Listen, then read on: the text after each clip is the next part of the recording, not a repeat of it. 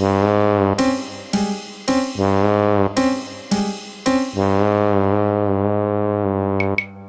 and Jill went up the hill to fetch a pail of water. Jack fell down and broke his crown, and Jill came tumbling after.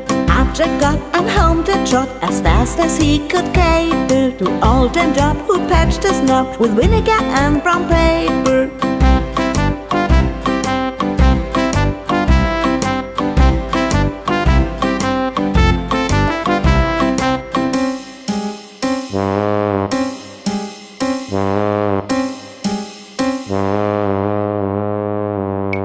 Jack and Jill went up the